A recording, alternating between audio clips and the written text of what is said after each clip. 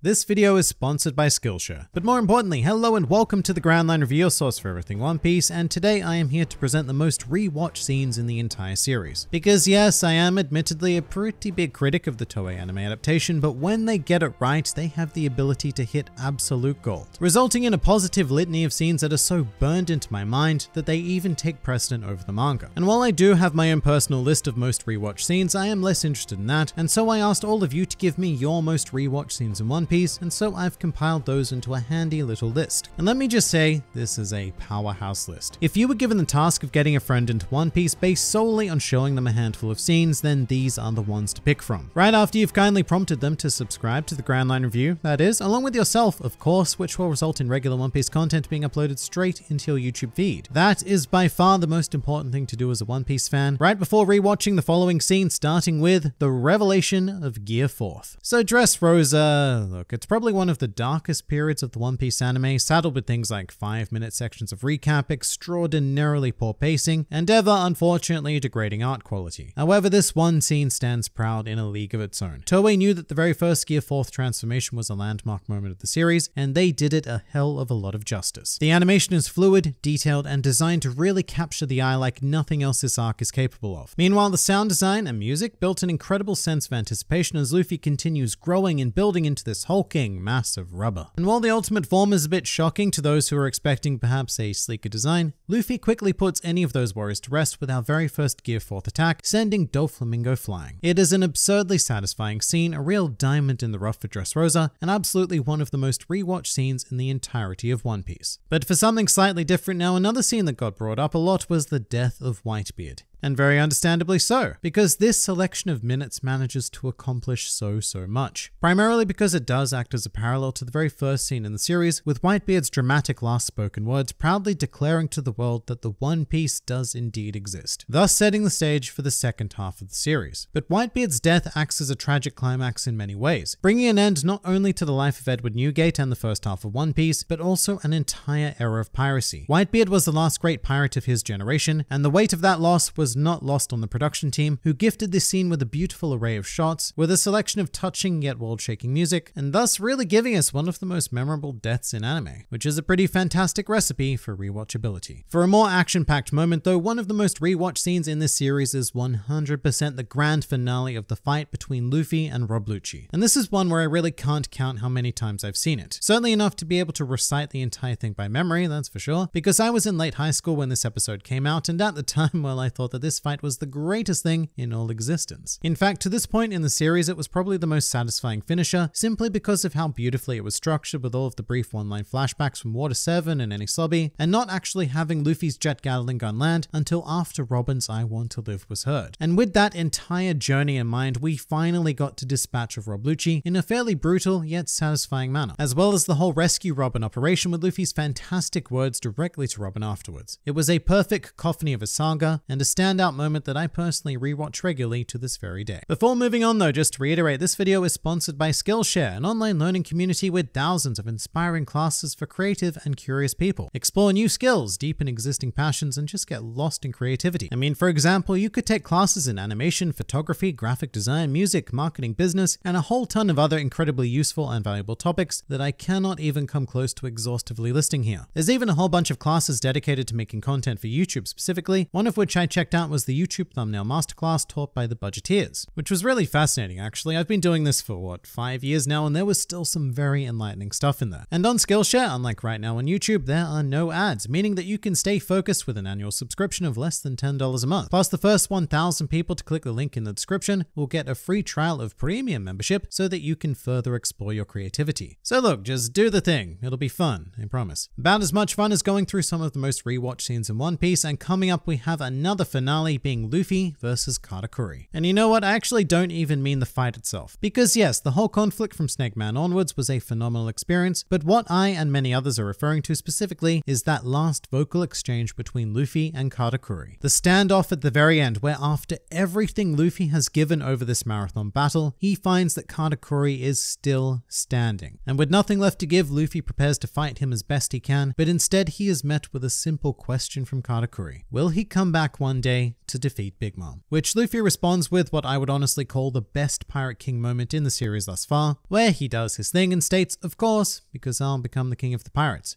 But the way it's staged in the anime is so beautiful, being able to see Luffy's seemingly infinite amount of reflections in the mirror world take on his words as well. And the orchestral piece underscoring everything effectively builds this epic tension before cutting to complete silence to see Katakuri finally fall. This is one of those moments where I think the anime really did outdo the manga, and it deserves to be rewatched as many times as humanly possible. Heading back to Marineford now, and if someone was to ask me what one of the most beautifully animated scenes in the entire series was, it would be very hard to go past Luffy standing up to all three admirals during the Paramount War. And the key to this scene is pretty much entirely water. From the moment Jinbei threw Luffy, the movement and sound of the water had me captivated, and it continues to be a major presence even after Luffy's dramatic landing. Encircling the four figures in this state of slow motion very effectively stopping time on this chaotic battlefield and allowing us to truly appreciate the moment at hand. Although I will say that with this one there is something that does kind of annoy me personally, which is that it takes Luffy exactly 15 seconds to raise his head whilst we linger on this fairly static shot with the sounds of him breathing. For me it's just way way way too long, which I know is ironic because I just praised the scene for slow motion and being able to stop time, but there is artistically valuable slow motion and then there's just filler pacing. Still, I very much understand why people come back to this glorious scene again and again. Now, to change things up a bit, let's talk about a scene where nothing happened according to Zoro's account anyway. Luckily, we have a bit more insight, and this was a scene that was burned into my mind the very moment I read it in the manga. And I was honestly, you know, a little bit nervous about how Toei was going to realize it, because they were well into their decline of quality during Thriller Bark, but to my pleasant surprise, this absurdly rewatch scene was done to perfection. In particular, I think the whole affair was given the right amount of breathing room. This scene wasn't artificially drawn out to the extent that I would call it filler pacing, but it was very deliberately slow, building up to the sudden moment of Zoro thrusting his arms into the bubble of doom created by Kuma. And then the final shot of him standing proudly, hanging onto his life by a mere thread, really does tell us everything we'd ever need to know about Zoro. And as a result, I would say that this scene gets rewatched more than any of his actual fights, at least according to the truly staggering amount of mentions it got in my comments anyway. And something else that got a shocking amount of mentions, which surprised me quite a bit, was the walk to Arlong Park. But you know what? Fair enough, because this was probably one of the greatest additions that the anime has ever made. Because fun fact here, this dramatic and practically iconic walk was not in the manga. There we basically go from Luffy and the others ready to fight, to Johnny and Yosaku talking, and then bam, Luffy punches a hole in the wall. And that does work fairly well on page, but the anime adaptation is an entirely different beast. Here the team chose to have Johnny and Yosaku's words playing against what is basically a march of the four Straw Hats. Luffy, Zoro, Sanji, and Usopp, each of whom look determined, confident, and incredibly pissed off. Juxtaposed against the words of Johnny and Yosaku, it works perfectly, and it makes Luffy's ultimate punch to break down the wall and call out Arlong feel that much more earned. It really is the epitome of classic One Piece, and given how old it is, it may even be one of the most empirically rewatched scenes in the entire series. However, there were a few others that got some excessive mentions as well. One of which was the finale of Luffy versus Crocodile. And just like Luffy versus Lucci, this was a childhood staple of mine. So much so that the number 126 is actually quite special to me because it was ingrained into me that this was the episode where that occurred. So every time I see the number 126, I do actually think of Luffy versus Crocodile, you know, sadly enough, because that's my life. But this really was and still is one of the greatest pieces of action that One Piece has to offer. And it came at a time where Luffy was finally being pushed to his limits, and as a result, we got to view the full scope of his combative creativity and raw determination, which gave us this stunning mid-air clash where Luffy utterly dominates Crocodile. So much so that he even ends up punching him straight through solid bedrock. And looking back on it, no, it's not the greatest of animation these days, but the shot composition, the music, and the voice acting are all still incredibly on point and well worth watching, even now, just over 18 years after its original air date. And another timeless classic would of course be Robin's I Want to Live from Enies Lobby. It's one of those things really, all I have to do is say the words Robin and Enies Lobby, and I bet that almost all of you will immediately have a perfect flashback of Robin's words, as well as the guttural, desperate vocal performance behind them. But this scene is so much more than that, because it's set up so dramatically by the slow walk of the Straw Hats to get into their position on the wall facing off directly against CP9, followed by Luffy declaring war on the world government, all for Robin's sake, which finally breaks through to her and gives Robin permission to admit the very basic desire that she wants to live. A desire that she had been suppressing ever since the Ohara incident, and a cathartic release to both her and the audience after having heard the words out loud.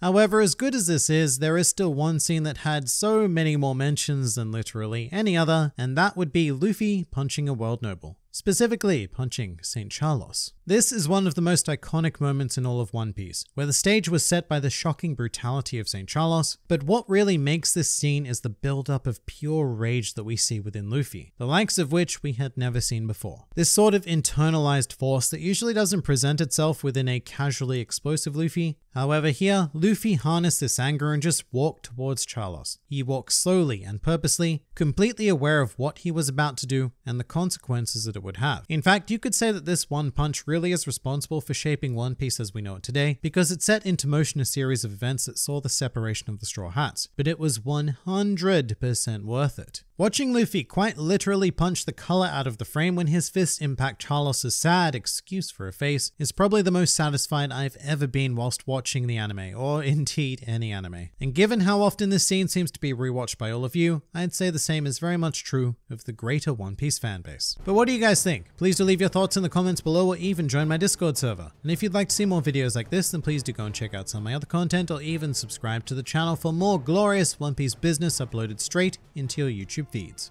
But for now, this has been the Grand Line Review, and I'll see you next time.